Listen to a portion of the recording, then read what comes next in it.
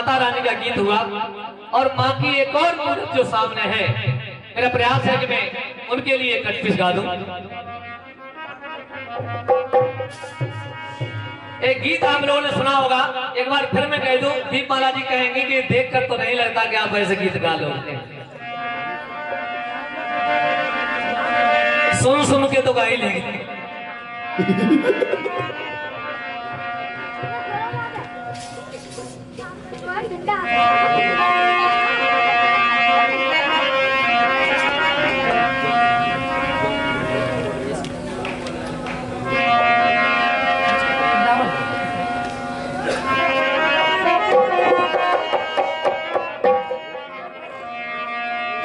गीत एक ऐसे बजा भैया।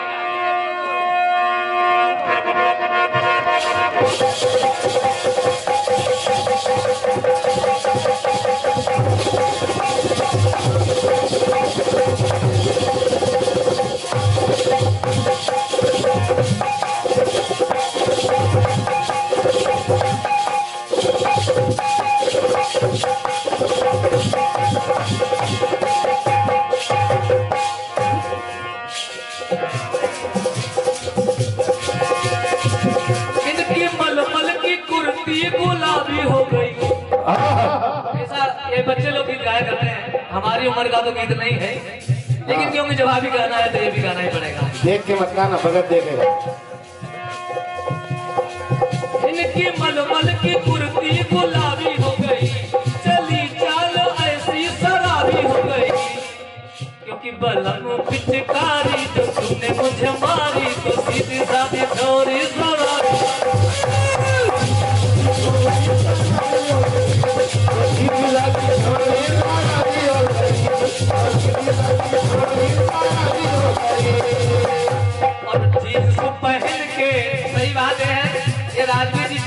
के हैं ये गीत उन्हीं के मतलब के। और जीन्स पहन के जो तुमने मारे ठुमके तो लट्टू पड़ोसन की भागी हो गई। इतना असर है। लेकिन आइए, हमें उनसे कोई लेना देना नहीं है। हमें हमें तो वहाँ बात करनी है, जहाँ हम जिनके दरबार में बैठे हैं। भगवान शिव का परिवार देखिएगा और उनकी लीला देखिए। कैसे कैसे नाते संसार में, हम लोग बहुत जल्दी घबरा जाते हैं। लेकिन भोलेनाथ का एक रिश्ता है, सुनेगा। एक सीरीज़ है, दीपक भैया।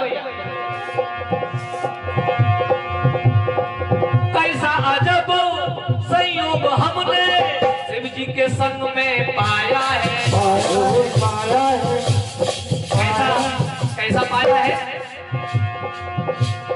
कैसा अजब संयोग शिव जी के संग में पाया है। हर कोई ना पाता निभा, नाता जो शिव ने निभाया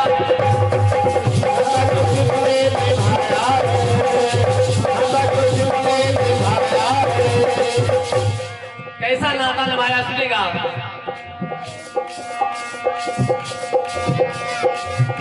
कि लीला हर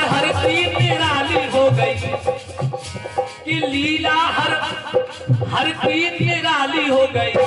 भोली भाली कहीं गोरी काली हो गई। कौन? माता जो इनकी काली। अच्छा। भैया मैंने प्रयास किया है भोलेनाथ के रिश्तों को खोलने का। माता जो इनकी काली और बहनिया भी। काली? ये केवल काला रंग नहीं है माँ काली का रूप है। माता जो इनकी काली बहनिया भी काली, और काली ही इनकी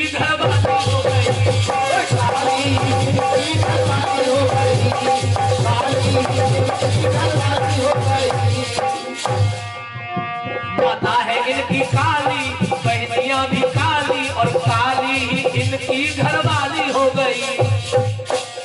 और ऐसी वैसी नहीं है। लटकाली लटकाली। लटकाली लटकाली काली बन जीव निकाली और काली काली भोले की लाली काली काली भोले की लाली हो गई। काली काली भोले की लाली हो गई। आप लोग जानते हैं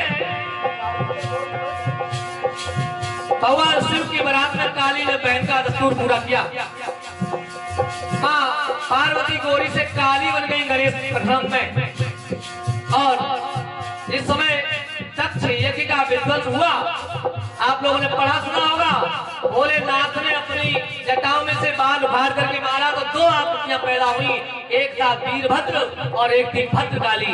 इसलिए इसलिए बात बन गई। लटकाली लटकाली, और काली बन जीवन काली और काली काली भोले की लाली हो गई। काली काली भोले की लाली हो गई। काली काली भोले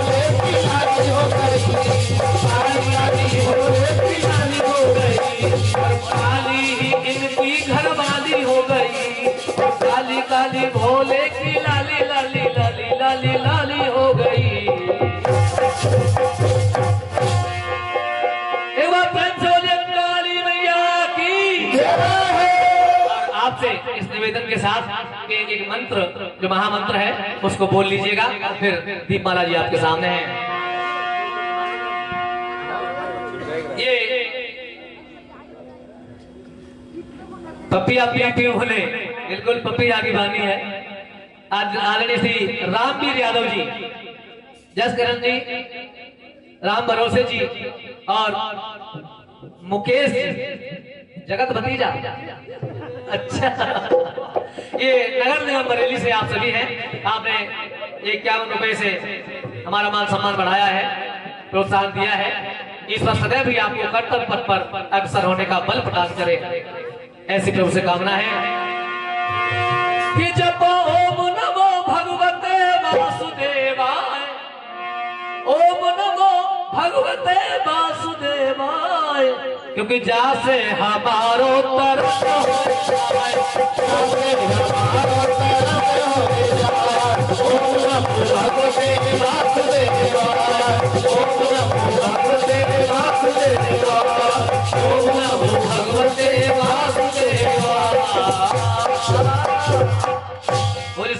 भगवान की।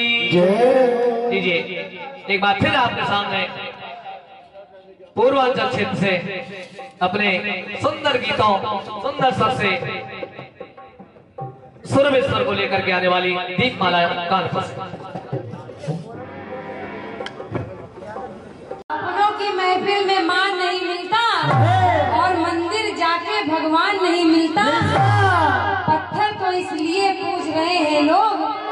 क्योंकि विश्वास के लायक इंसान नहीं मिलता कहते हैं माला जी कर्म तेरा अच्छा है तो किस्मत तेरी दासी है। और दिल अगर सच्चा है तो घर में मथुरा काशी है। कहते हैं चलो माँ के द्वार चलो माँ के द्वार सहारे मिलेंगे। डूबते हुओं को किनारे मिलेंगे। और जो तंग आ चुके हैं गमे ज़िंदगी से। अच्छा। जो तंग आ चुके हैं गमे ज़िंदगी से हाँ। उनको भी माँ के द्वार पे सहारे मिलेंगे। एक बार ज़ोर से जयकारा लगाइए दुर्गा मैया की। बहुत बढ़िया। आपका गीत। लेकिन मैंने गीत दिया था उस समय हमारे जेपी दत्ता जी कुछ किसी कार्य में व्यस्त हो गए थे। उस गीत को थोड़ा हड़बड़ी में लोगों के दिमाग पर पीछे वाले भैया तो खैर सुन रहे थे। लेकिन आगे वाले कुछ कार्य में ऐसे खो गए कि उस गीत को थोड़ा सा पिसार दिया। लाइनें बोल रही थी मेरी कि जब रावण ने कहा कि प्रभु से, भगवान शंकर से कि प्रभु मुझे दक्षिणा में और कुछ नहीं, ये अपना, ये अपनी लंका दे दो। तब शंकर जी बोले, कि अरे, तुम तो विचित्र काम कर रहे हो, मुझसे लंका मांग रहे हो। तब रावण बोला, क्या बोला? कि काशी वाले तुम हो अविनाशी। हे स्वामी, के काशी वाले तुम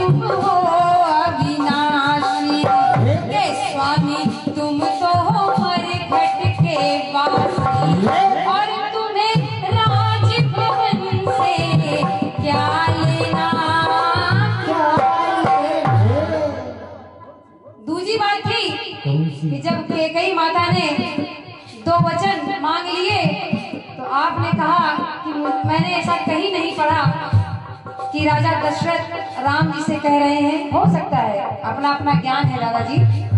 आप हमसे भी महान हैं इसमें मैं कोई टिप्पणी नहीं करूँगी। लेकिन ये मेरी अंतरात्मा थी या यूँ कहिए लेखक के हमारे ये अंतरात्मा थी कि ऐसा दशरथ जी कह रहे हैं। क्या? कह रहे हैं कि वेश तापस विशेष।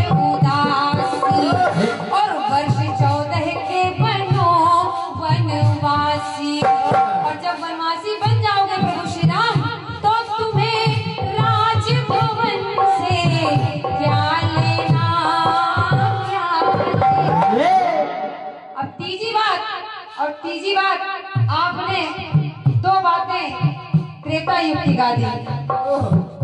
आपने दो बातें, दादाजी, त्रेता युग की गा दी। एक बाली और सुग्रीव की और दूसरी भगवान श्री राम की। दोनों बातें आपने त्रेता युग की गा दी। लेकिन ये मुझे बताना ज़रूरी था, लेकिन मेरी तीसरी बात कह रही थी कि जब दुर्योधन दुर्योधन इस बात पर लड़ गया कि मैं अपना राज्य क्यों दे दूँ? जेपी दादाजी? दुर्योधन इस बात पर लड़ गया कि मैं अपना राज क्यों दे दूँ क्योंकि ये मेरे चाचा के पुत्र हैं ही नहीं। क्योंकि ये देव के अंश है।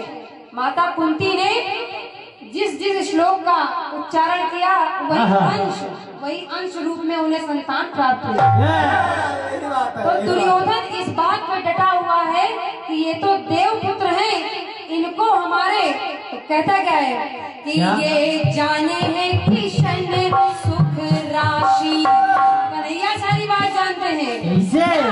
ये जाने हैं किशन सुख राशि हाँ। और पिता इनके हैं स्वर्ग के वासी। तो इन्हें राजभवन से क्या लेना? ये बातें थी हमारी। लेकिन प्रयास आपका भी अच्छा था कि कोप भवन से क्या लेना राजभवन से क्या लेना और जो भी अंतिम लाइन थी आपकी मैंने नोट नहीं की। चलिए कोई बात नहीं। कटपीस में हमने टॉप दिया कि दादा हनीप्रीत बहुत से लोग गाते हैं। उसको भी आपने पकड़ लिया और दो लो, दो लाइनों में जवाब आपने दिया जो भी था बढ़िया था दादाजी। क्या? इसमें कहने वाली कोई टिप्पणी नहीं कोई बात नहीं। आइए गीत आया आपका।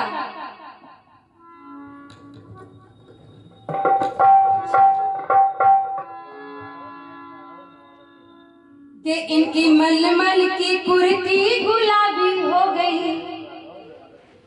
बबलू राठौर महेश राठौर नवादा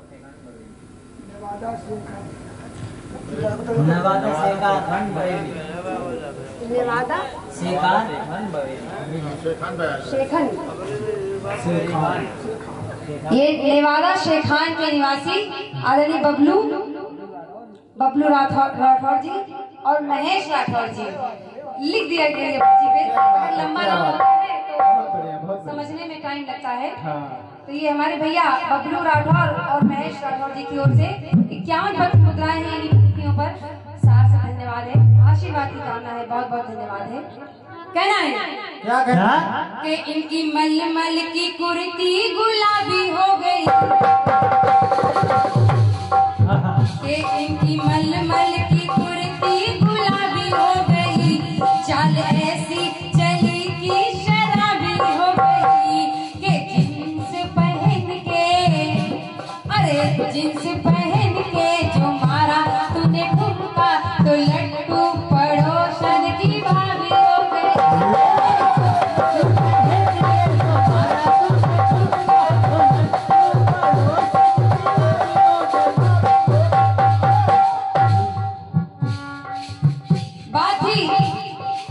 काली हो गई गोरी हो गई। अब देखें इधर इधर वही काली मैया गो, गोरी कैसे हो रही है? गोरी कैसे हो रही सुनिएगा कहना है। कहा?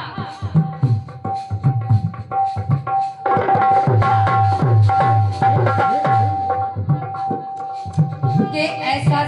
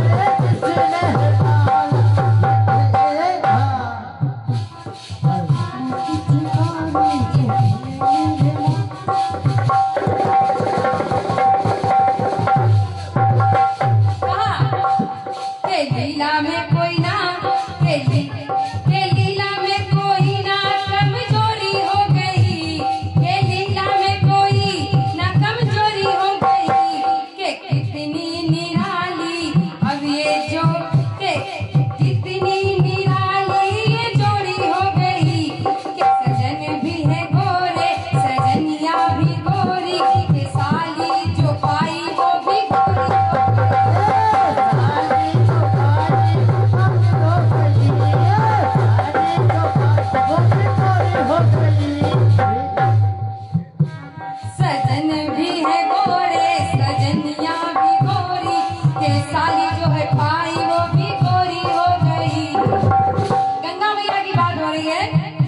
谢谢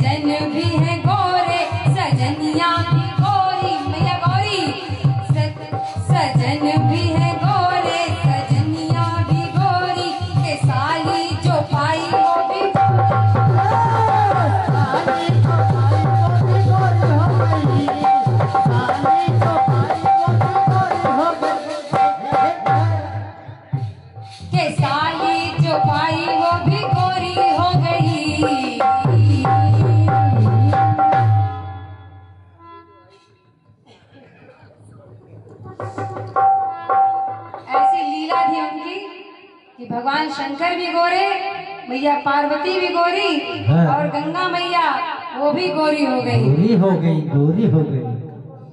क्योंकि कर्पूर्ण गौरव करुणावतारम संसार सारम भुजेंद्र हारम दादाजी बहुत दिनों बाद ये गीत सुना सच्चाई है बहुत दिनों बाद ये गीत सुना क्योंकि